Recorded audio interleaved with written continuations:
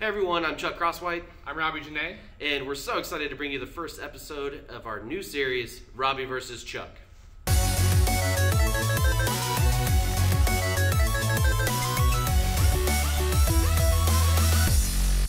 Today, our coworkers have picked four different clips for us to Foley, and we're going to challenge each other to see who can come up with the best Foley art for each clip. And if you're unfamiliar with what foleying is, Robbie here has actually already done a tutorial on it, which you can find here. We haven't even seen the clips yet, so we're going to review what our coworkers picked for us. Only thing left that we need is uh, some popcorn. Let's roll that beautiful Foley footage. Oh, a, a cooking video. That's never been done before. Do we, I mean, do we have a skillet? Do I have to buy a skillet now? Uh, Easy. next one. Okay, so we have a blacksmith, we have an anvil forming a sword, it looks like. That shouldn't be too difficult. Yeah, let me just get some iron, start beating stuff. I mean, maybe, would you, like, do you think you're going to add some sound effects for the sparks? Like, are you going to incorporate that at all? That's for me to know. I might just get a pipe wrench and just start beating things. and whatever sounds the best, I'm to use that one. You think Academy will let me go in and just start punching a punching bag? They may ask you why you have a giant like headset and microphone on you, like punching a bag. Who's got a more feminine grunt? perfect. Here's your freebie. All right, so we're about to go out and record this Foley. Uh, we have a couple rules for this. So uh, first off, we are going to go out to the store and buy all the things that we need to get this Foley done. Uh, most of the things will be household items that you have access to. Uh, rule number one is that we're going to have to do everything within the studio that we have here. and rule number two is that we have to do everything ourselves. We can't bring in anybody else to help us with any sound effects or any of the Foley art. But uh, we are allowing audio manipulation and post, so that's going to help us out a lot. So we're just going to see how it turns out. All right, off to the store.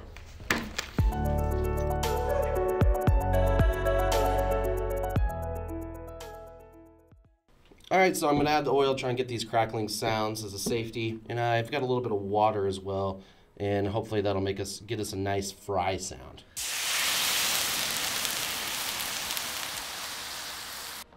All right, that was our water sound effect. I'm gonna go ahead and add some oil, see how that does. Maybe we can get some more popping sounds, um, something a little bit closer to the wok they're using in the clip. So let's try it out. Fried damn you. All right, I got a little bit of sizzle at the beginning, but I'm gonna go whole hog here and just.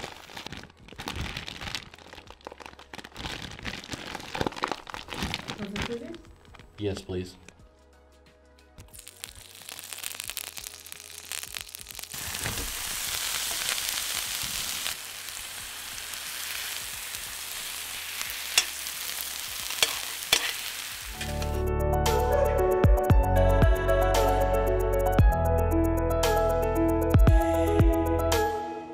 Up next, we have the blacksmith clip, and what I'm going to use is a hammer, a very tiny cast iron skillet, and a long wrench.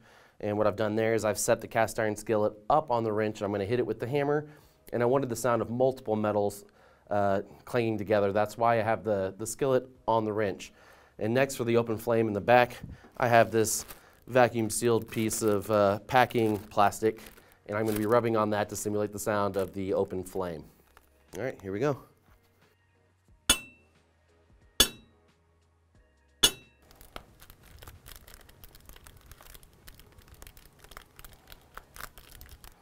I'm going to try and simulate the sound of the sparks, and we'll see if this works. This is just kind of a last minute idea.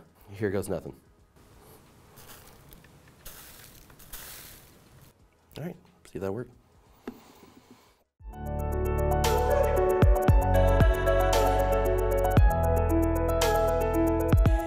For this next clip, I'm going to go ahead and tackle the boxer, and for that, I actually got a box.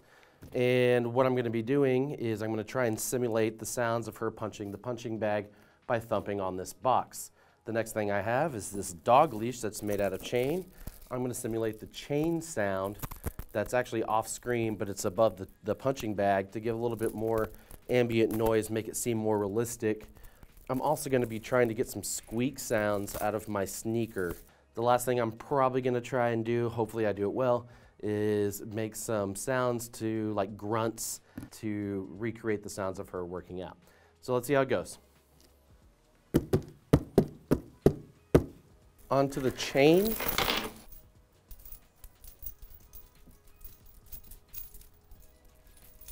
Female grunt sounds.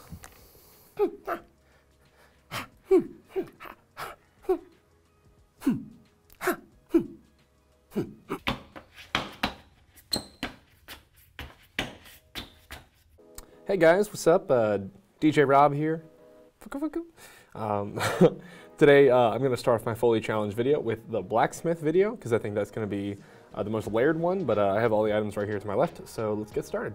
All right, so I have a bunch of various um, metal objects. I got a got a pry bar, um, got a 12-inch uh, breaker bar. Um, essentially, I was just looking for any metal thing that I could find on the internet uh, that it was easily accessible. I mean, one of the biggest parts of getting Foley right is just kind of experimenting and uh, just banging objects together to see what's going to fit your video.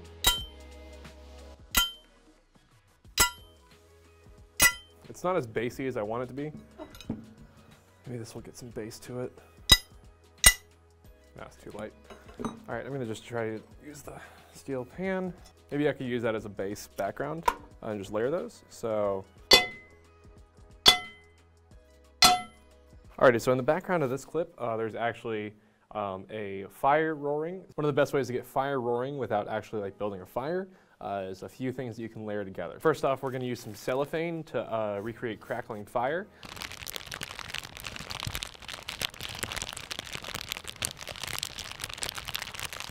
All right, so I think that's gonna be good. Uh, we're gonna move on to uh, getting that, you know, fire sound effect. So uh, with fire, you know, it's kind of like blowing in the wind. Uh, so for that, I have, I've got a handy dandy a blowtorch.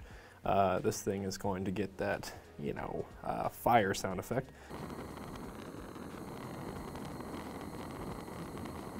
All right, got that. Um, I know steel wool burns really slowly, and I think that's gonna be a good addition to this sound. Uh, so I'm gonna burn off some steel wool up close to the mic and see if that uh, plays out well for us.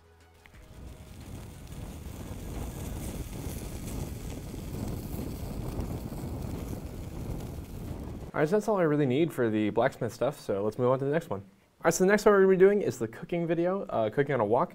Um, and uh, to start that, I mean, I usually use Whenever I cook, I usually can tell that an onion makes the best like sizzle flavor, uh, and it's gonna be easy to move around uh, once I dice it. All right, gonna turn that up to high because we want as much sizzle as possible. Let's get that little sizzle. And we're gonna be using primarily water for this because uh, I don't have any oil. Simple enough. All right, so in this video, there's two spoons, uh, kind of just sorting out uh, different the beans or lentils so what I've learned to do to get a really good sizzle on a plate is to uh, soak a washcloth in water and that on top of a cast iron skillet is going to give you that sizzle that you want. So let's get into it.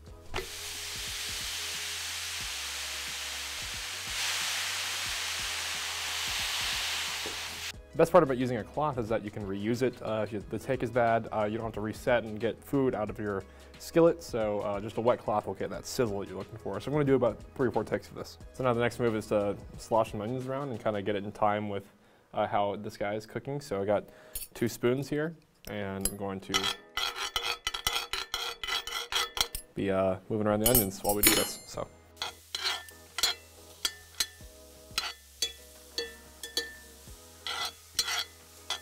All right, I think that's it for the cooking one. Uh, just uh, probably gonna add some uh, restaurant sound effects in the background. I'll just have to layer that uh, with some, you know, uh, reverb in post, uh, but I think cooking's done. So on to our next one, which is a boxing bag. So I didn't want to do it in the studio because I saw Chuck buy some stuff that was frankly better than mine, and I couldn't find the materials I wanted, so I decided to go to Remote Robbie.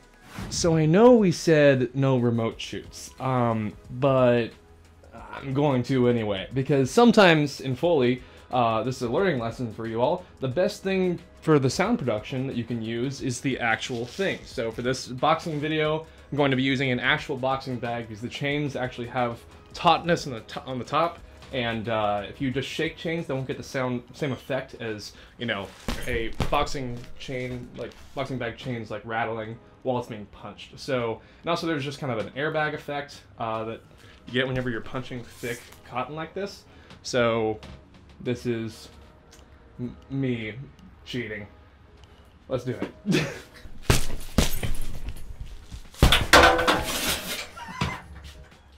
So we tried the rooftop boom, and uh, I kind of punched it off the roof. It wasn't working, so uh, we're using my brother Andrew.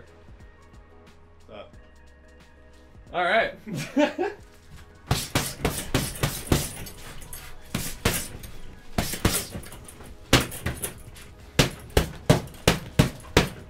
Actually, let's get a close up of uh, chains rattling. Yeah.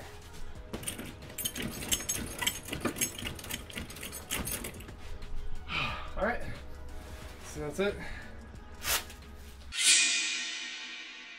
So these are our wonderful coworkers, and we asked them to judge our content. So uh, here we go. You guys ready?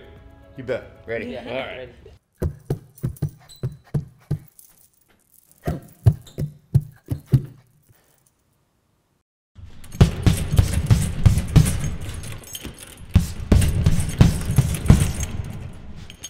Raise your hand for one.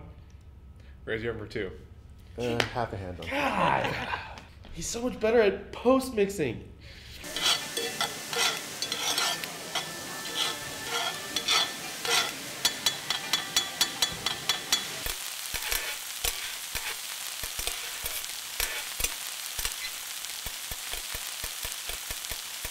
Clip number one.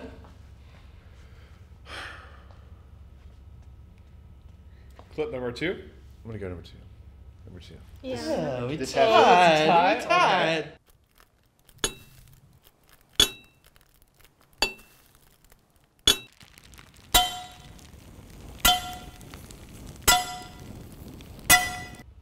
So number one, Yeah. number two. But I like your. I like your. We hits. tied. No, you you win. No, the Wait. second one was a tie. We tied. Wow! We're all winners here today. Thanks everybody for watching. If there's anything else you'd like to see Robbie and I square off on, please let us know in the comments. And like always, like, sub, subscribe, uh, ring that bell so you can get those notifications. And if there's anything else you want to see from us, uh, we're going to be putting out a lot more dope content like this. So adventures in filmmaking, you want to learn some new things, we're here to make it. So just let us know in the comments. And we're gonna bring you our new catchphrase. Anything you can do, to I can moon, do better. baby. I thought we agreed on going to the moon, baby. No, mine's better.